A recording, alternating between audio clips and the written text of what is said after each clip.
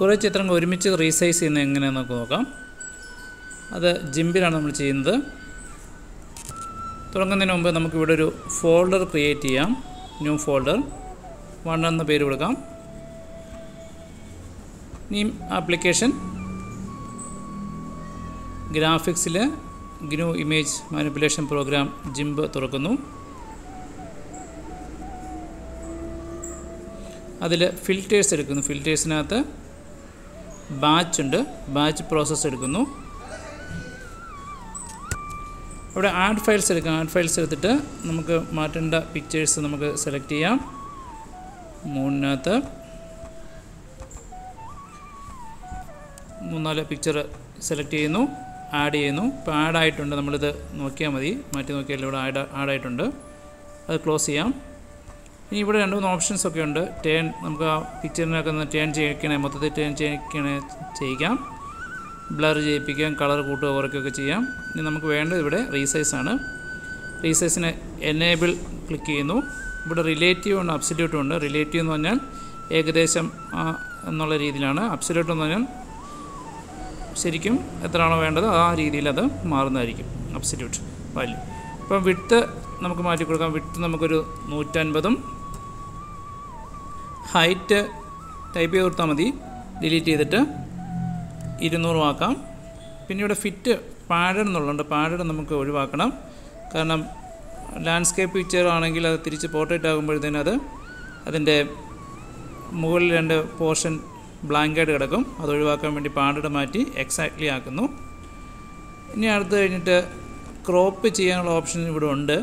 അത് ഏകദേശം ഒരേ പിക്ചറൊക്കെ ആണെങ്കിൽ നമുക്ക് ക്രോപ്പ് ചെയ്യാൻ സാധിക്കും. ഇവിടെ നമ്മൾ ഇനിയും ഷാർപ്പണോ അങ്ങനത്തെ കാര്യങ്ങളൊക്കെ ചെയ്യാം. ഇവിടെ റീനെയിം ഉണ്ട്. റീനെയിമിൽ ഇവിടെ ഔട്ട്പുട്ട് ഡയറക്റ്റ് ചെയ്താണെന്ന് നമ്മൾ കൊടുക്കുക എന്നുള്ളതാണ്. ഇവിടെ അതേ ഡയറക്റ്റ് തന്നെ കൊടുക്കുകയാണെങ്കിൽ നമുക്ക് പേര് മാറ്റി കൊടുക്കണം പിക്ചറിന്റെ അത് മാറ്റി അതല്ലാതെ നമുക്കിവിടെ സെലക്ട് ഡയറക്റ്റ് ചെയ്യാം. അതിനായിട്ടാണ് ആദ്യം ഒരു ഡയറക്ടറി അല്ലെങ്കിൽ ഫോൾഡർ നമ്മൾ ക്രിയേറ്റ് ചെയ്തത്. അപ്പോൾ ആ പിക്ചർ കിടന്ന ആ സ്ഥലത്ത് ഒരു ഫോൾഡർ നമ്മൾ ക്രിയേറ്റ് ചെയ്തായിരുന്നു.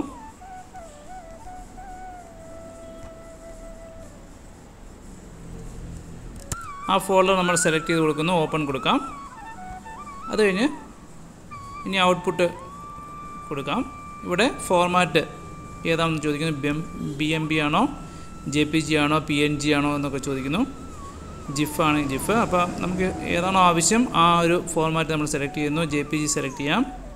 ഇപ്പോൾ ക്വാളിറ്റി കൂട്ടുക കുറയ്ക്കുകയൊക്കെ നമുക്ക് ചെയ്യാവുന്നതാണ്. ഇനി അത് കഴിഞ്ഞിട്ട് അതെല്ലാം മാറ്റി കഴിഞ്ഞ് നമ്മളിവിടെ സ്റ്റാർട്ട് എന്ന് കൊടുക്കുക പ്രോസസ്സിങ് സ്റ്റാർട്ട് ചെയ്യും.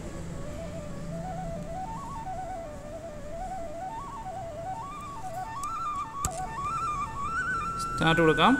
സ്റ്റാർട്ട് കൊടുക്കുമ്പോൾ അത് പ്രോസസ്സ് കംപ്ലീറ്റ് ആയി ഡൺ എന്നുള്ള മെസ്സേജ് വരും. അത് നമുക്കിത് ക്വിറ്റ് ചെയ്യാം. ക്വിറ്റ് ചെയ്തിട്ട് നമുക്ക് നോക്കാം. ഇപ്പോൾ ആ പ്രോസസ്സിങ് കംപ്ലീറ്റ് ആയിട്ടുണ്ട്. അപ്പോൾ അതിന്റെ സൈസ് നോക്കാം നമുക്ക്. പ്രോപ്പർട്ടീസ് നോക്കാം. അതിനകത്ത് ഇമേജിന്റെ സൈസ് നോക്കിയാൽ നൂറ്റമ്പത് ബൈ ഇരുന്നൂറായി ഇതും അടുത്ത പിക്ചറിന്റെ നമുക്ക് നോക്കാം. പ്രോപ്പർട്ടീസ് അപ്പോൾ ഇമേജ് നൂറ്റമ്പത് ബൈ ഇരുന്നൂറായി പക്ഷേ ഇത് ക്വാളിറ്റി അനുസരിച്ച് നമ്മൾ ഇൻപുട്ടിന്റെ ഏകദേശം ഒരേ ക്വാളിറ്റിയുള്ള പിക്ചർ കൊടുക്കാമെങ്കിൽ അതുപോലുള്ള ഒരുമിച്ച് തന്നെ ഒരേപോലെ തന്നെ അത് റീസൈസ് ചെയ്ത് കിട്ടുന്നതാണ്. സൈസിന്റെയും വ്യത്യാസം ഫയൽ സൈസിന്റെ വ്യത്യാസം ഇവിടെ ഏഴ് പോയിന്റ് നാല് കെ ബി ആണ്. രണ്ടാമത്തെ ആപ്പിൽ പതിനെട്ട് പോയിന്റ് ആറ് കെ ബി ആയി. ആറ് കെ ബി ആയി. അപ്പോൾ അതാണ് ബാച്ച് പ്രോസസ്സിന്റെ ഒരു ചെറിയ പ്രശ്നം എന്ന് പറഞ്ഞാൽ ഒരേ ടൈപ്പ് ഫോട്ടോസ് ആണെങ്കിൽ ഒരേ സ്റ്റുഡിയോയിൽ നിന്ന് എടുത്ത ഫോട്ടോസോ അങ്ങനെയൊക്കെ ആണെങ്കിൽ നമുക്കിത് ഡയറക്റ്റ് അങ്ങനെ തന്നെ ഒരേപോലെ തന്നെ ഇത് റീസൈസ് ചെയ്ത് കിട്ടാനായിട്ട് സാധിക്കും അപ്പോൾ അത് പല ക്വാളിറ്റിയുള്ള ഇൻപുട്ട് കൊടുക്കുമ്പോൾ ഫയലിന്റെ സൈസിൽ കുറച്ച് വ്യത്യാസം വരും. ഫയലിന്റെ ലെങ്ത് ബ്രെഡ്ത്ത് അതിന് ഒരേപോലെ കിട്ടുമെങ്കിലും ഫയൽ സൈസ് കെ ബിയിലുള്ള വ്യത്യാസം കാണിക്കാറുണ്ട്. അപ്പോൾ അത് നമ്മൾ ശ്രദ്ധിച്ച് ചെയ്താൽ ബാച്ച് പ്രോസസ്സിങ് വെച്ച് നമുക്ക് പെട്ടെന്ന് തന്നെ കുറേ ഫോട്ടോസ് ഒരുപോലെ റീസൈസ് ചെയ്ത് കിട്ടാനായിട്ട് സാധിക്കും.